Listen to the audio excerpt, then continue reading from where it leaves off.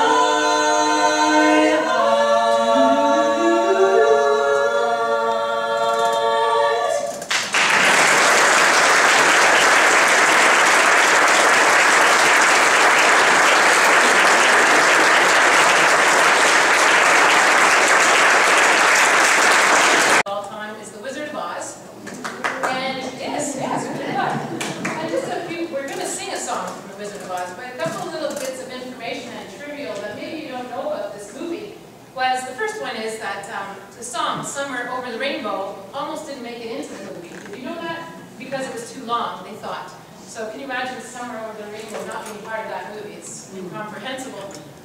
Another one that's going to give you a clue of what song we're going to sing.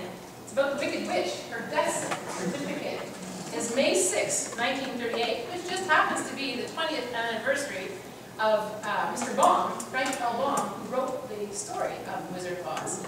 20 years to the day. So that's another kind of weird little bit of information. But one more piece of information about the next song we're going to sing is about uh, Margaret Hamilton. I bet you all didn't know what she did for a living before she was in the movies. Anybody? She was a kindergarten teacher.